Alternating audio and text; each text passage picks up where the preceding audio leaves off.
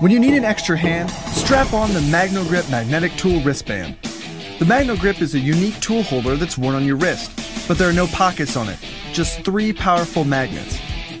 Ideal for holding nails, screws, bolts, drill bits, and small tools, the MagnoGrip is the perfect companion for jobs of any size around the house or shop. Lightweight, breathable material makes it comfortable to wear for long periods of time. The rugged exterior is made of ballistic nylon, so not even this screwdriver can tear it.